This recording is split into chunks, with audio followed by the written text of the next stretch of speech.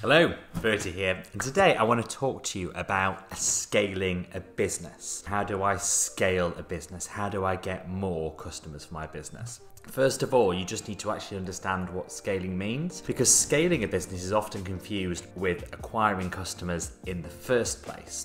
And a lot of people don't understand how that process works for them and for their business. So, let me give you an example. If you're launching a new business, and maybe you're launching an app or you've got something like a course and you want to get loads and loads of customers to that particular product or service. What people think is, well, how do I scale this? How do I take this business idea and scale it and get loads of customers? That isn't scaling. That's actually an acquisition problem in the first place because until you understand how to get one customer, then you can't get 100 customers. You need to understand that first. And this is a really, really important point. So if you're thinking of scaling your business, but you haven't yet got your first customer, haven't got your first, second, third customers, then you need to go back to the beginning and get that right first. Now, that requires doing the hard stuff. It requires going out and speaking to people, really understanding what it is your customer wants, so you can try and bring those things together into your offering. So get that right first. So the way then to start thinking about scaling is get that first customer and then do it again and again and again. Maybe get to your first five, ten customers. Then what you can start to do is look at how did you actually acquire those? What are the common things when you started bringing those customers on board? And how can you make that process more efficient.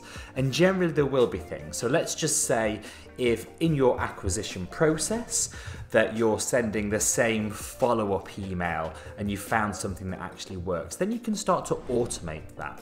So then you can start to automate this sales process and make it more efficient, and then it starts to scale without having you do the things manually each and every time. So generally, there's no silver bullet to this, there's no like secret ad strategy you can just put in place. All these things are there to amplify and make easy the things that you understand already.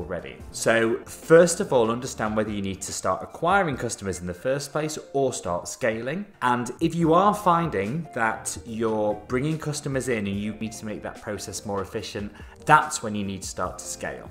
And that's when you need to look at your processes, look at where you can make those efficiencies, make things easier for you and your customer. Then you will find the scaling starts to happen automatically. So there's my tips for scaling because the majority of time people don't need to scale, they just need to understand how to get customers in the first place.